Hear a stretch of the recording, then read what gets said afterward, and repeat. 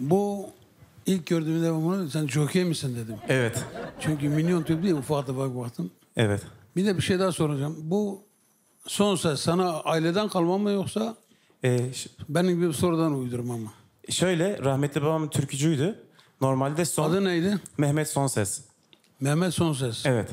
Tanıyorum ben. Öyle mi? İsmini duydum yani. Ee, Sen beni kaçın kurası zannediyorsun? vallahi doğru. Öyle mi diyor ya? Ben sizin jenerasyondan değilim. 3-5 geri git. Hatta daha geri. Maşallah ne güzel. Ee, o Evet. ses eklediği için, son ses olduğu için otomatikmen benim de son ses oldu. Öyle mi? Evet. Şimdi İdo, İdo gibi oldu yani. İdo diyor ki ben babamınki çakma ben gel sah. Çünkü ben, o doğduğunda tat sesti. Ben sonradan uydurduğum için bana çakma diyor. Böyle de bir şerefli adam.